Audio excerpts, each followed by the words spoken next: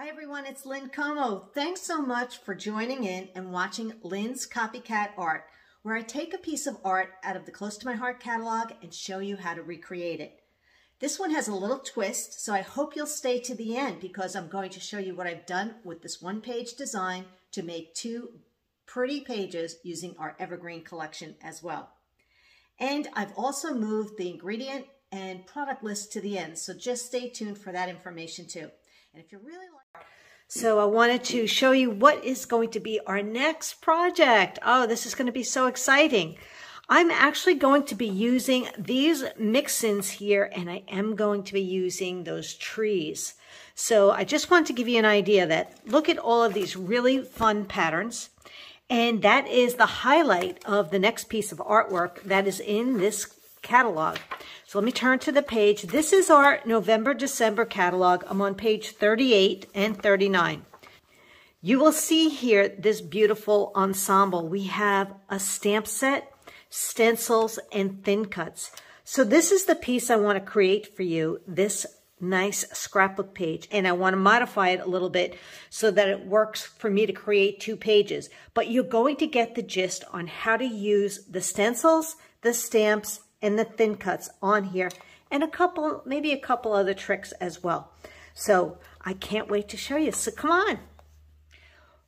What's really cool about this is that you can just buy the bundle when it's available, and it's um, $44.85 for the stamp set, the thin cut, and both sheets of stencils.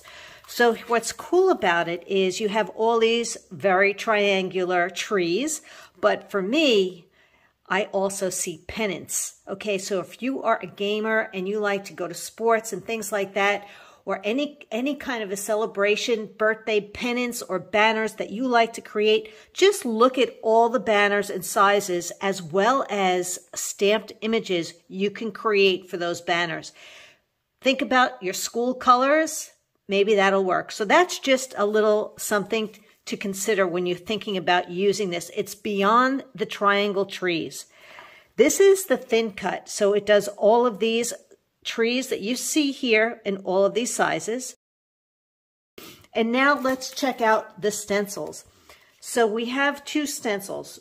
We have the open base of each triangle tree, all right, as well as the um, style of the tree that you can do on top, the different geometric or swirls as you see here that we can do on top to get a really cool look. Now I'll just show you on a piece of scrap that um, these are the two colors that I used and this is on linen cardstock, not white. I wanted to see what it looked like on a soft gray. I used Seabrook and Sage on here. Now, I don't know if you can tell, but if you were dividing this in half, one half is using the brush or blending brushes that you can see here. And this side, which is a little bit more concentrated, are using the sponges. So depending on the look that you want and that you're going for, this will help you when it, it's time to do the background. I like the softer look personally to do a background, but if I was coloring in to go on top of a thin cut, I probably would prefer a little bit deeper or richer color. But you know what? That's the beauty of it. You get to pick and choose and play. That's what's so much fun about stencils. Um, let's look at the cardstock that we're, or the papers that we're going to be using. Mix-ins. So this is the base. And then we have all of these mix-ins, and this is the other pattern right here. So these would be your two pieces as well as, where's that other piece? This pattern right here. So those are your three patterns that are going to create this look. Now, as far as um, photo mats, you can pick and choose. Even the trees, you can pick and choose the colors. Now, to me, it looks like they cut off a quarter of an inch on each piece and layered it on a piece of um, cardstock, which could be glacier, it could be sage. So I wanted to just give you an idea of how pretty it is. If I take this color or pattern, just every time you play, this is really a great idea of looking at what do you like. That's French vanilla. I'm going to have both patterns so you can see. That's French vanilla. This is linen, and if I turn it over, it's the lighter linen, which is really close to this mix-in pattern. We also have mink, which kind of drags it down a little bit, but the lighter side definitely works better, but it's still not my preference. Here's sage. Now, it's so funny when you put sage next to this, this becomes greener, which is so cool. I really like the other side, so I might switch over to this side because of the project that I'm working on. But it's all going to be the same kind of look.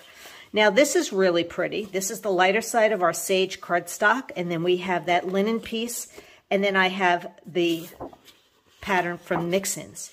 So as you can see, and if you decided to do Glacier, this is what's really cool. When you turn it over, it actually picks up the blue and that really works too. So if that's a color combo you want to do. And lastly, I thought I'd show you Seabrook. Now, Seabrook really is very pretty. That's the darker side, and here is the lighter side. So you know what? If I was playing with this side, I could pick, I would probably pick Seabrook or Sage or the linen. But I'm going to be using this pattern, which is so close to the linen that's in the mix-ins, but this is coming out of the uh, Evergreen Scrapbooking Workshop Kit. Now let's talk inks. There's so many colors. Now this is where you get to pick and choose, but if you were doing something brighter, like springy or summer, Limeade and Jade are our two newest colors, and Clover works really well with them, as well as Evergreen. This is really a nice color combo if I was going to do something like that. But I'm probably going to think about fall, maybe a little bit more fallish colors. So I might be doing the Seabrook, the Sage, and the Pine. All right, let's do a little bit of cutting here. So the first thing you would always do is cut off your zip strip. So I'm actually going to cut it off this piece right here. And it is about a half an inch. Don't you love finding little scraps inside your trimmer?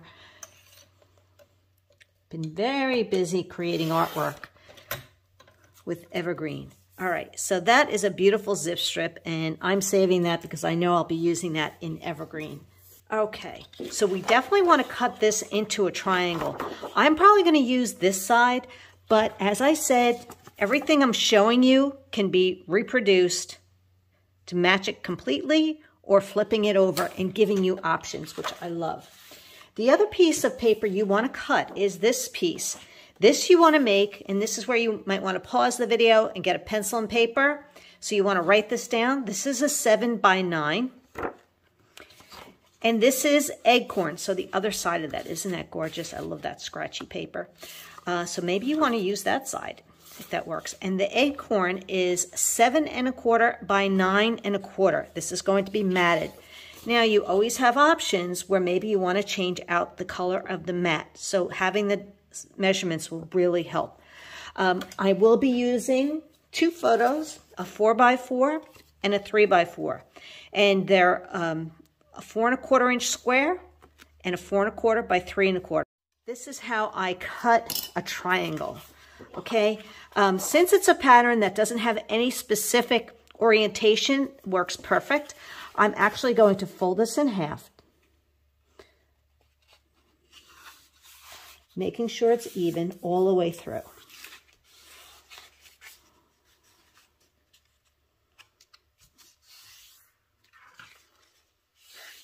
Always a good idea to have your X-Acto knife um, when you're going to do something like this. And I will be using my T-square ruler, which we take apart. And I'm going to make sure that I have this nice and firm. All right. The Versamat's great because it's a self-healing craft mat and we can do this cutting right along there. So just be really careful with an X-Acto knife. The key is once you have this nice crisp fold, you just line that ruler up right against that area. You want to make sure it's right up against there. Just push against it. Now you really want great pressure on the ruler and using that self-healing craft mat, just keep that pressure on the ruler. And before you pull it away, just make sure that you've cut through the corner. That's usually where I always have my little issue. So let's see how we're doing here. Oh.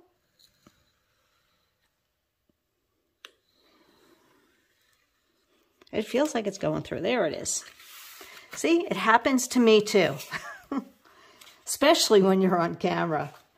All right, we want to make sure this is right up against that area, holding that down and just follow that point. Okay. I want to put my cap on this so I don't do any damage. So what's that's what I love about cutting it like this is now I can use this on page two. So remember I talked about this linen pattern. So this is the one that I will be stenciling before I glue anything down. Now before we do any stenciling, I wanted to show you, do you see there's a little strip here? Now this is where you can have fun. It's a quarter of an inch. This is Seabrook. That's kind of pretty.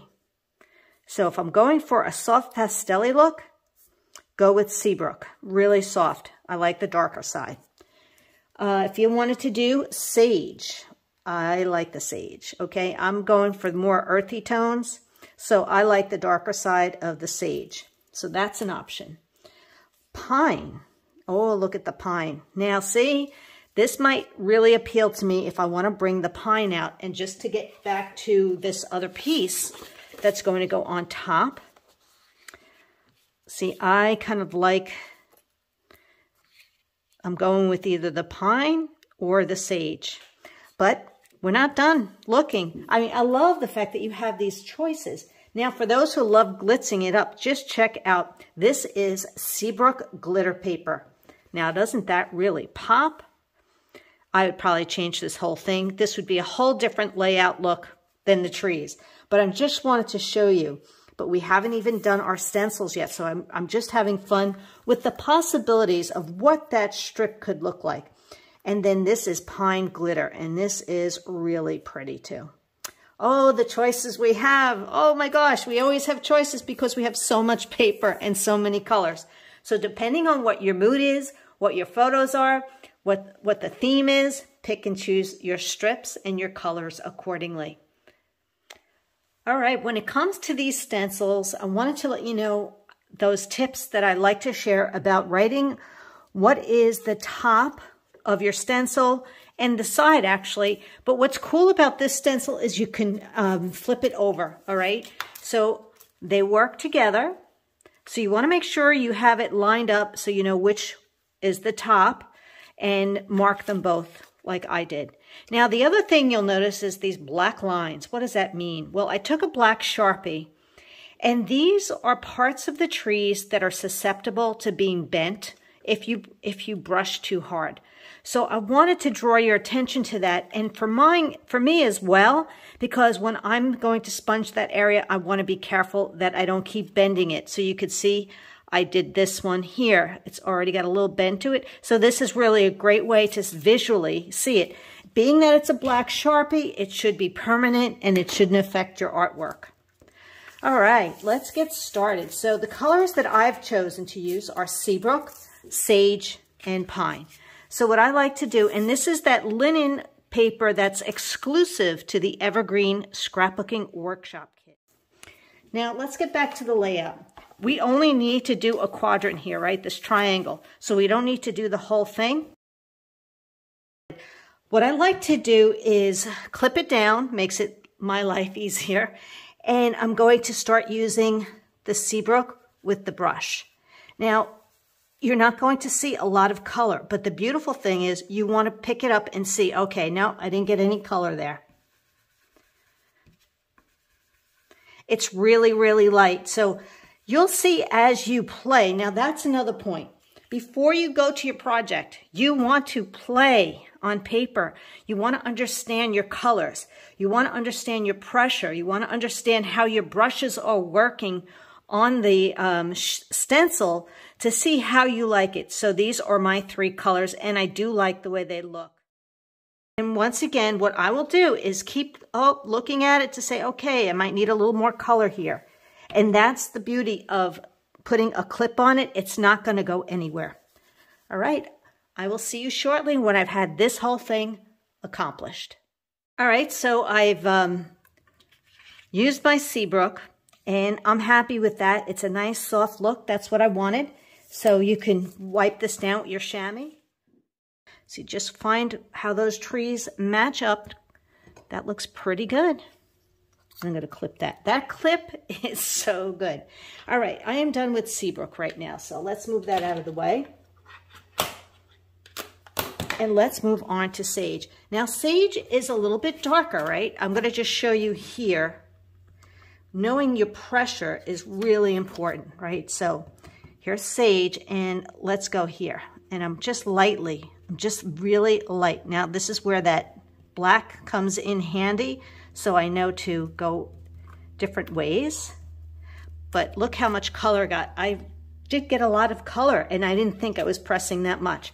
So it really is important for you to understand the ink and the pressure that you're doing.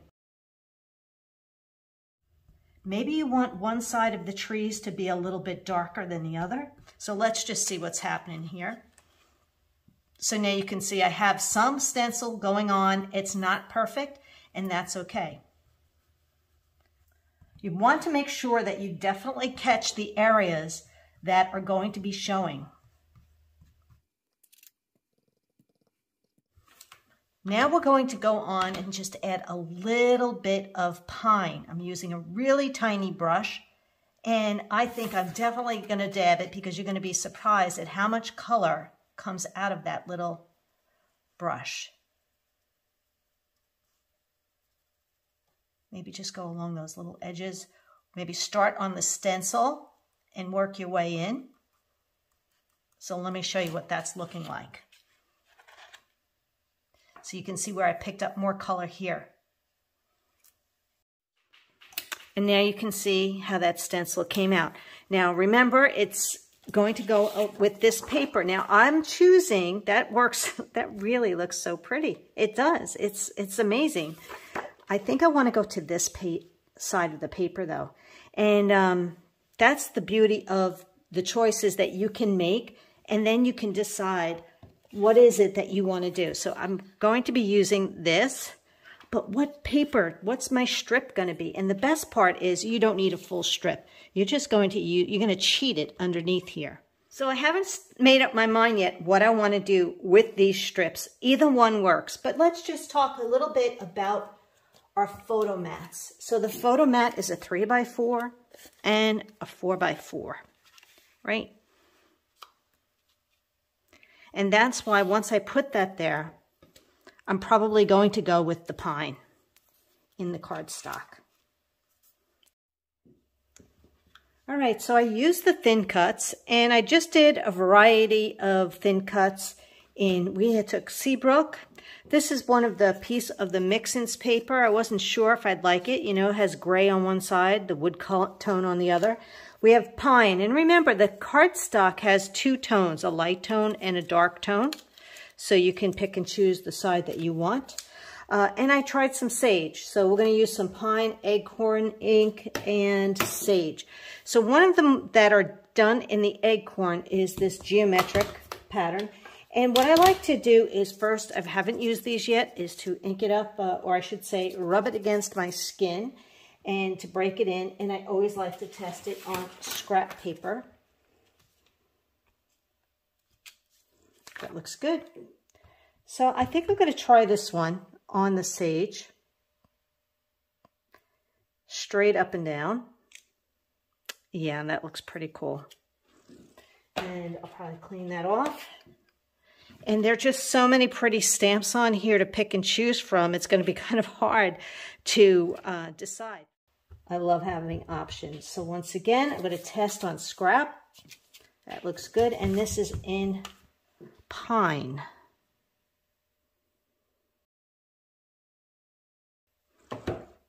And we want to do this one in pine. And I might do this one on pine, in pine too. Just we'll take one of these smaller ones. We'll ink this up in, um, let's do sage on sage. No, let's do acorn. So even though it's the not the same size, it's okay. You can still use it. and play around with your different size trees and color inks that you'd like to use. This was another one that I really liked, and this I'll do in pine.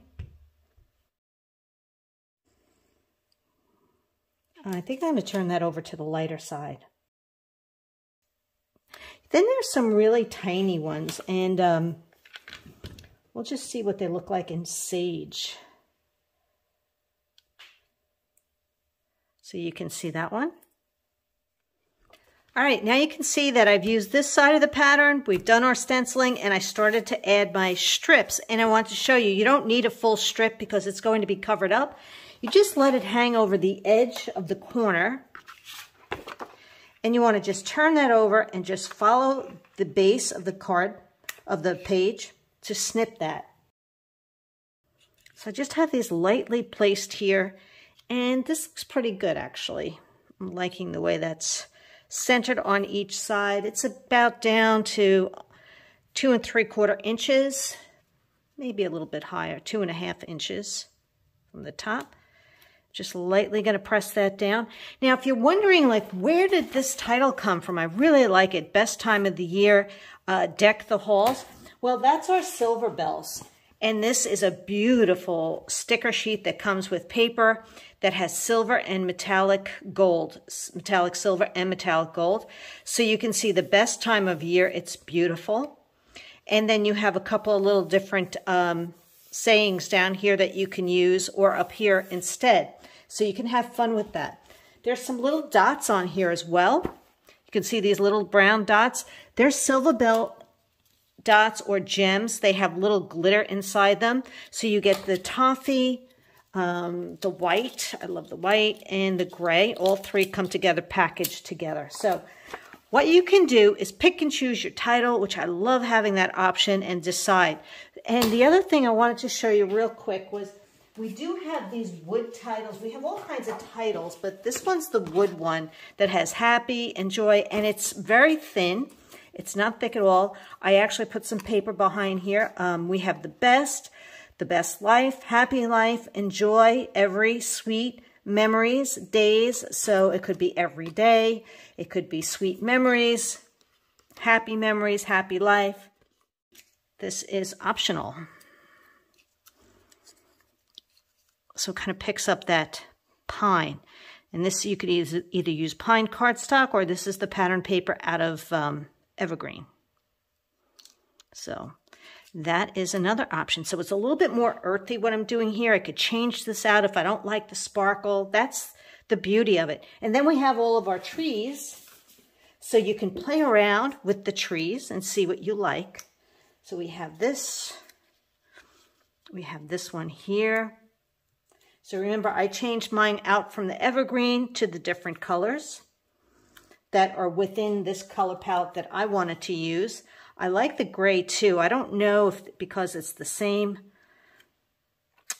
uh, if I was to change that out to a different pattern, maybe I could use this or not. Just leave it, you know. I need to stamp that. And then there was this other one with the acorn, which kind of picks up that look. And it really is so, so pretty. And then you can go and add any one of these dots. The white would work, the brown, those would be my two choices right there.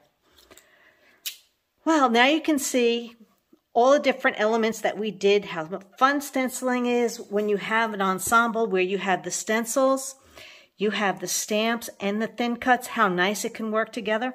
And remember I talked about pennants? We could easily flip these around and they can be beautiful pennants for any kind of layout or card that you'd like to make. You're just changing it by turning it around and you can use whatever color, whatever design in the stamps, and you'll get so much use out of it. All right, would you like to see what I ended up creating with that layout, that one-page design? I've developed it into two pages using the Evergreen collection. I just loved the way it came out overall. Here we have it. Oh my goodness, I'm thrilled with it. I love the fact that I changed the mix-ins out to this side of the pattern paper. I got rid of the pine glitter paper. It was just too glitzy for the look I wanted, so I changed it out to pine cardstock right there. You'll note all these little embellishments all come from the Evergreen collection. And here are those triangle trees. I also flipped this pattern paper over to the white scratchy side, which I really liked. And I added some of this um, toffee dot paper. That's from Evergreen. You can see how I did all of the stenciling in the background. And now you can see my stamped trees as well. Love this little cluster I have going on using Evergreen die cuts and the scrapbooking workshop kit and the wood title die cuts. These uh, have a couple of different sayings like um, it could be best day, it could be memories. Um, there's a couple of titles in there and it's just all like a craft wood, but very, very thin. So it's perfect. And I just sponged them. So it says the best life. So here's where I put the life. Now you can see where I added that second page and I have the trees going right across the whole layout. Love this. Changed out that strip again, pattern paper, and I only had, I didn't have a full sheet of this pattern. So I just brought a little bit of that over to this side, like a one inch um, piece with a little bit of the acorn paper underneath. And there's that dot paper, which pulls that around. So we have this whole nice triangle thing going, even with my clusters and the trees, everything's working. And that's why it looks so great. The tag is from Evergreen. So a lot of these papers are either Mixins or Evergreen Collection. And I love these die cut pieces with the sprigs. You'll find some of these in the scrapbooking workshop kit. But there you have it. That's taking copycat art, but then making it your own. I hope you really enjoyed this video and feel like you can do something and I hope to inspire you to do more.